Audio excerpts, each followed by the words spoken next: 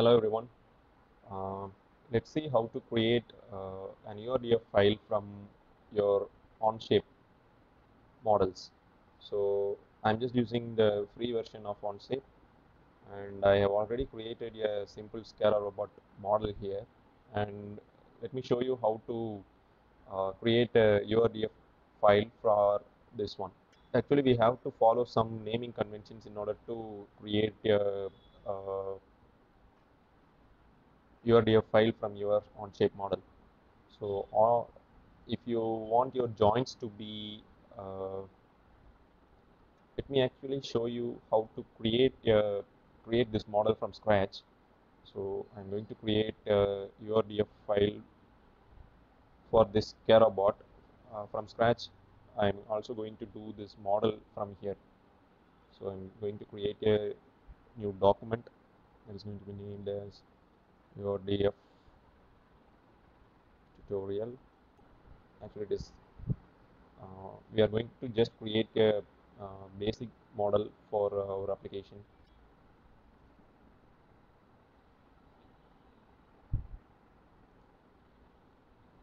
Let me actually do the modeling from scratch. So I'm going to start from a sketch let's go to the top plane and create a simple before doing anything we need to uh,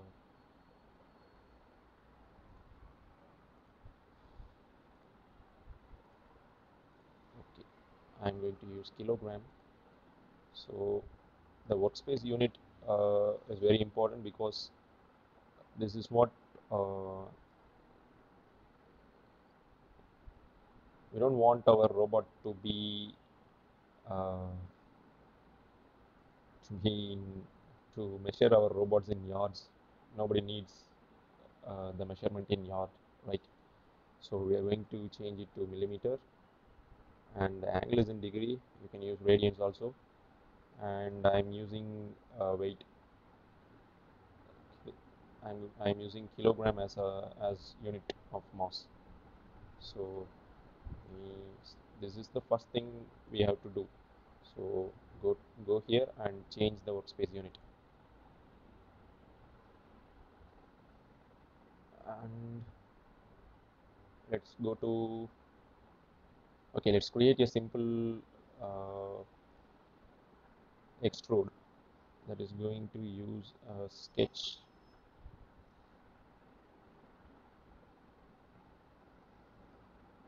so I'm to sketch a top plane and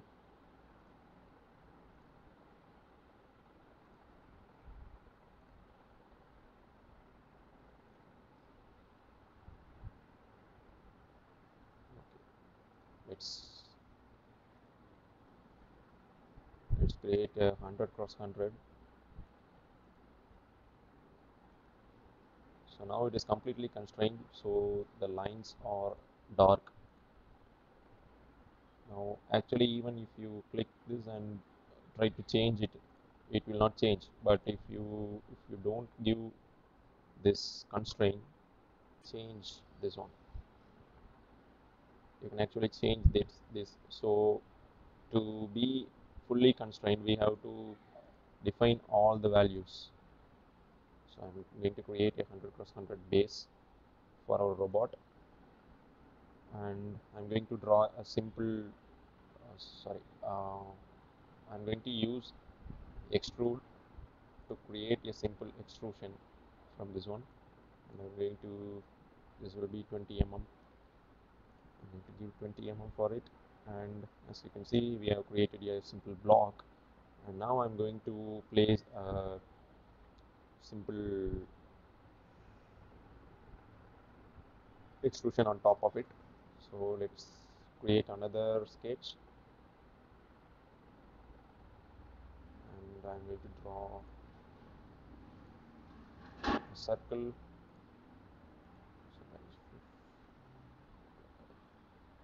Let's give this as 50 and it does not need any other uh, any other parameter. So it is already completely constrained let's create another extrusion.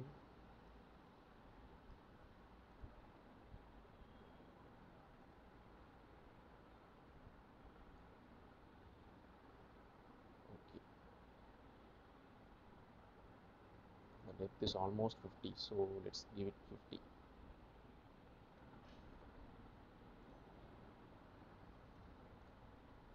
so now we have created the base. So let's name it as base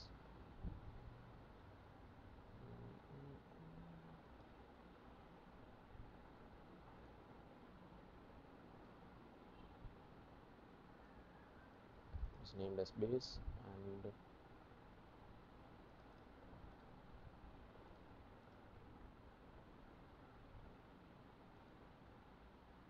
and let's create another part studio and create the next pot that so let me create a sketch quickly.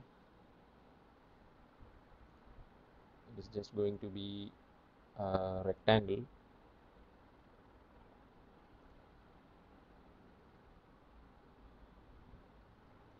me give constraints to it quickly.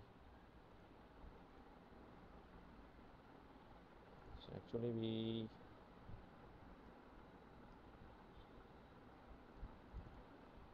we have 50 mm here. So let me create uh,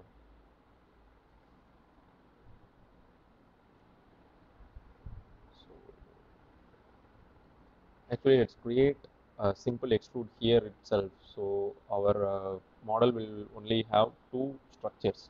There is one base link and another link that is completely uh, revol- revolve around this one. So let me create uh, another circle here on this extrude on top of this extrude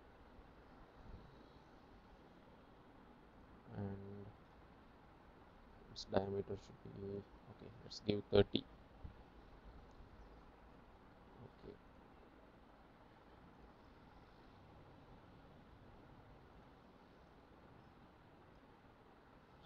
so it's 25 okay so this is the base link. And in the pot I'm going to use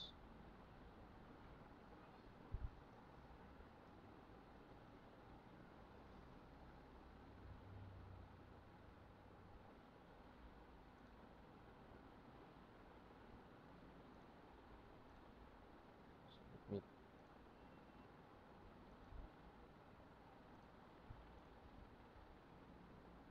will be 30 also. So that this link will fit into the uh, base link. As you can see this base link will be mated with this one. So it is 30 and it is not completely constrained yet because we have not specified the uh, distance between the origin and this one. So actually the it can be anywhere. So actually created a simple constraint on this horizontal axis. So see this is horizontal. So now I'm going to create a, a definition that is uh, constraint that is going to define uh, distance between these two. I'm going to give uh, 60 okay. this height can be reduced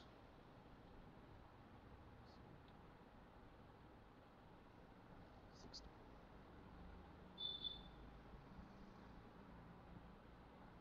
okay if we create an extrude now with this sketch.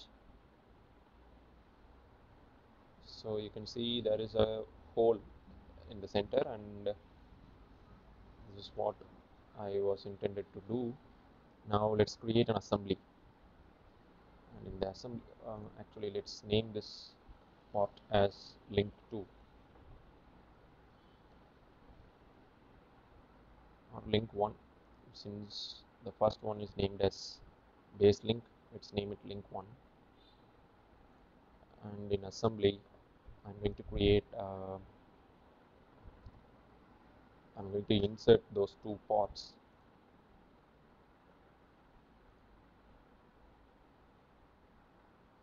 okay. And this one is going to be fixed. The base link is going to be fixed. I fixed it. And we are going to create a, a mate between this and this one. So let's create it. So you can see revolute mate. And this revolute mate will be transformed into URDF uh, revolution revolute motion. So we can create revolute mate between this surface and this one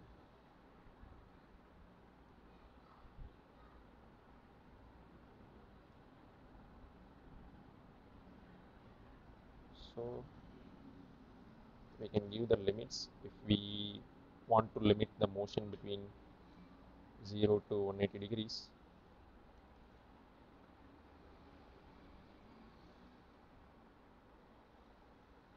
so the motion will be constrained to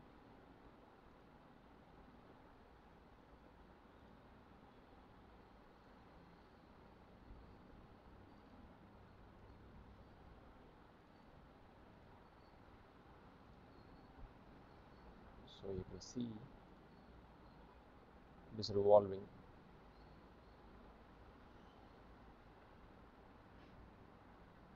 So this is this is the base model that we are trying we have created and this we we need only one joint so close it and this revolute joint need to be named as DOF underscore whatever you want so DOF whatever will be uh, this DOF underscore will be used by this uh, onshape to robot script. This is actually a python script that will read this urdf uh, read this onshape model and convert it into uh, urdf file that can be used with gazebo simulation or ros or orbis simulation or anything you want. So this is this is pretty much it with the onshape part. And now let me show you how to install this onshape to robot doc onshape to robot python script. So you can just python minus install uh, onshape to robot.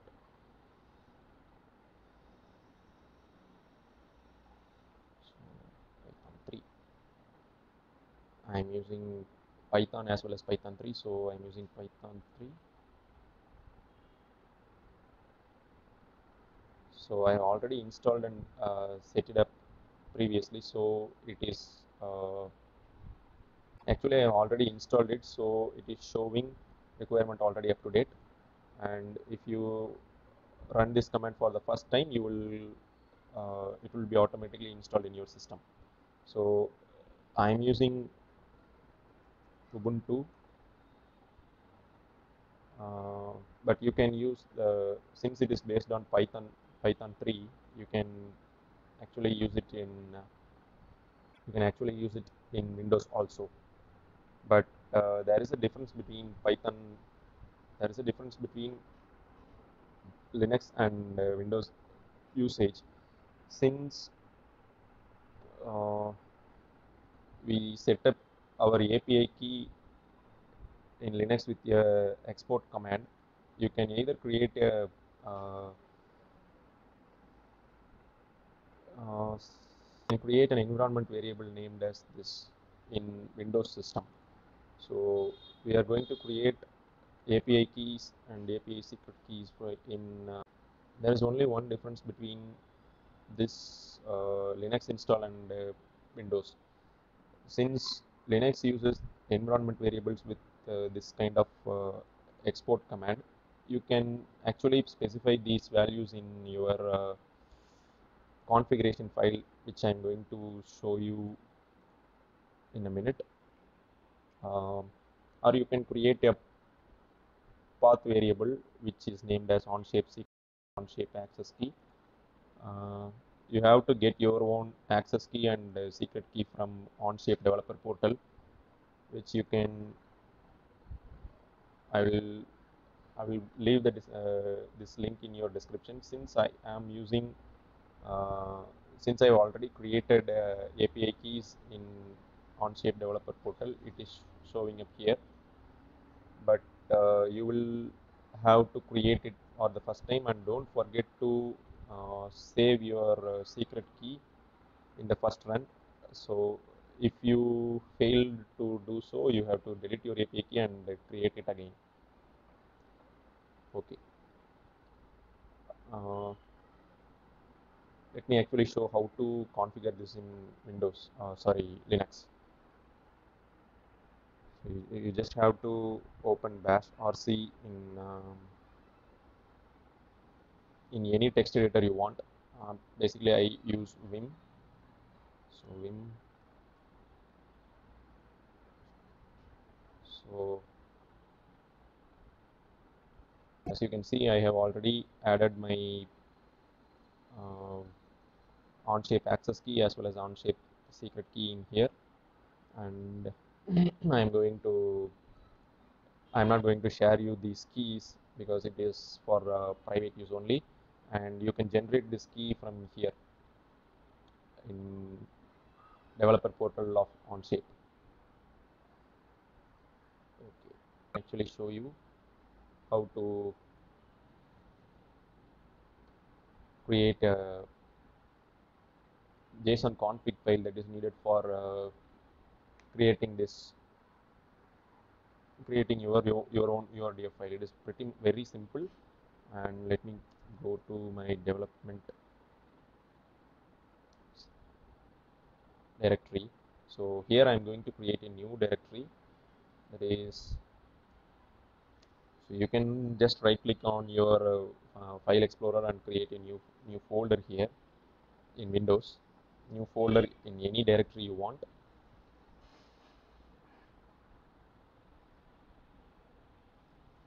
me name it as your df tutorial.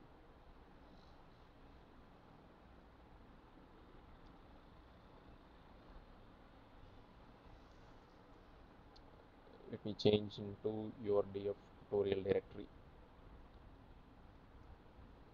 And I am going to create a simple configuration file from uh, here. So me actually use a graphical based uh,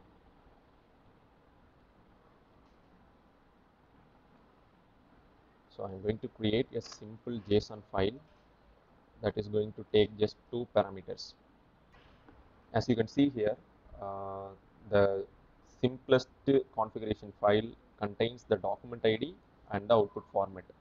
So since we are going to create a URDF for output, just copy this and paste it in your document file and this document ID is actually you can extract this info from your Onshape document. So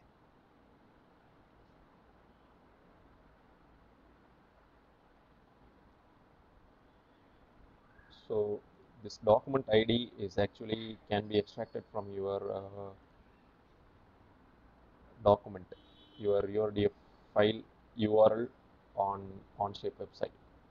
So this is basically the document ID. So it is next to this document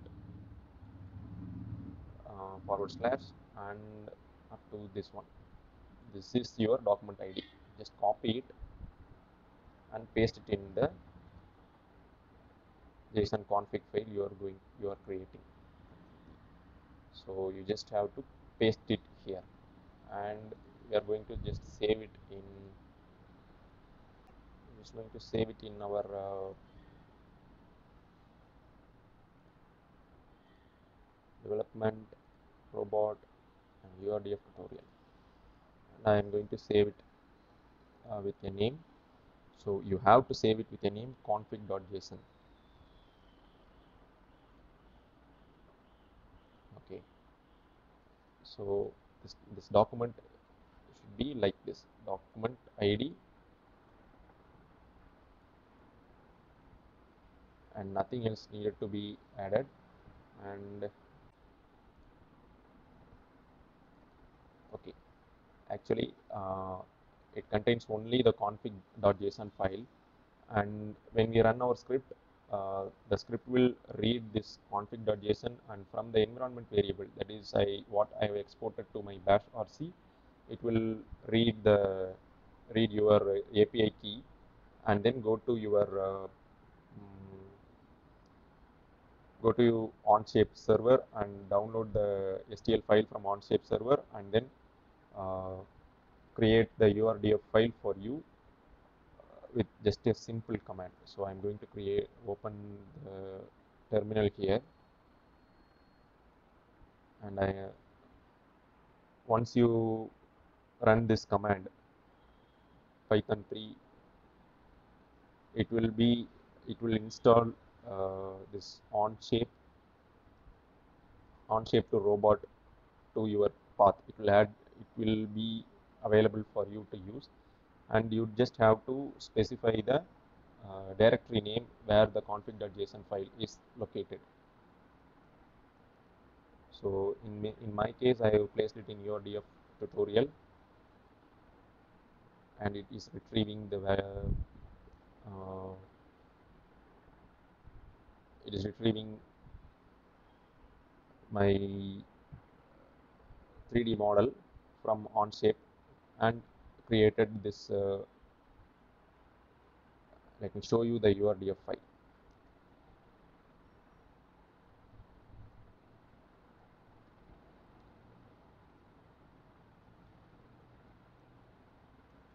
So actually it created a robot.urdf file here and it downloaded this base.stl and link1.stl that we have created in our model.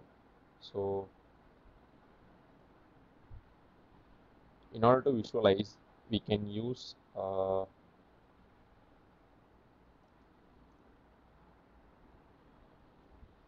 Onshape to robot bullet. So for this to work you have to install bullet that is uh, PyBullet it will be actually automatically installed when you install Onshape to robot Uh, python package. So you don't have to worry about anything and just run this command Onshape to robot bullet and the directory name urdf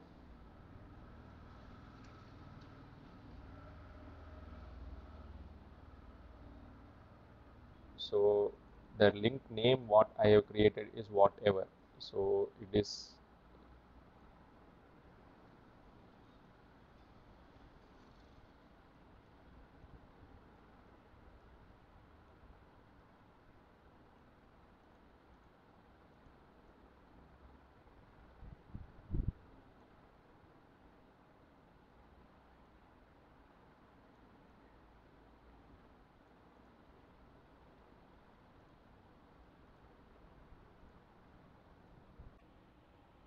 so each time you run this script uh, it will rewrite the directory on which the config.json file is in.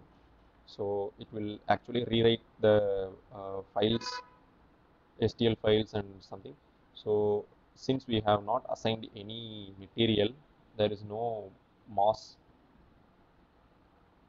mass properties is generated. So in order to create a proper simulation we have to assign some material to it. So let me go to here and assign a material here. Assign material. Uh, I'm going to create I'm going to use aluminum as material.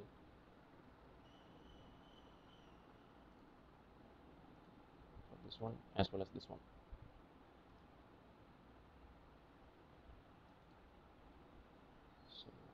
there is quite a lot of materials available uh, in here. So I'm just going to use aluminum so you don't have to save anything. It will be automatically saved. And so everything will be rebuilt. And once once again you have to just run this command on shape2 robot URDF tutorial. That's that URDF tutorial is the directory name on which the config.json file is present.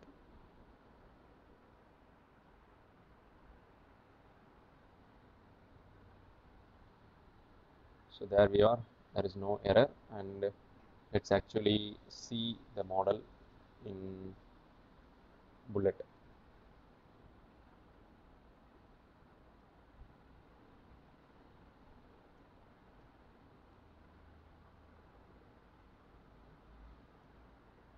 so you can see here it is moving 180 degree. So since the uh, PyBullet is a complete uh, physical physics engine that is simulating its weight and its inertia and everything so it will if I move it too quickly see as you can see uh, the inertia of this uh, longer part is lesser than higher than this uh, this lower part. So if we move this link too quickly it's actually going to just move the bottom part.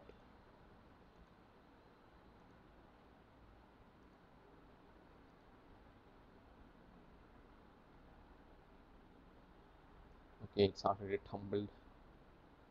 Okay that's it. Uh, you can you can add more more and more links and just keep in mind okay that's it. And just keep in mind that dof should be dof underscore should be the name preceding whatever the name you are intended to you intended for your link. Uh, actually intended for your joint. Okay, thanks for watching. If you have if you want to see more tutorials like these in this channel please comment below